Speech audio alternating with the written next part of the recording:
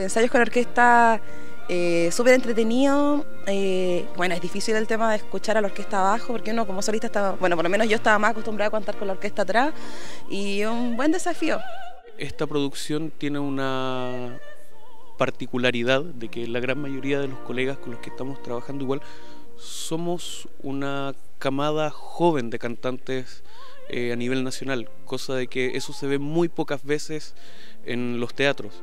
Ya casi la mayoría del elenco también ha cantado esta ópera otras veces, entonces ya hemos podido conectar rápidamente casi toda la escena, los actos y todo, y, en el aspecto musical también. Hay que estar muy concentrado, muy, muy pendiente y con la, con la actitud de querer hacerlo lo mejor posible.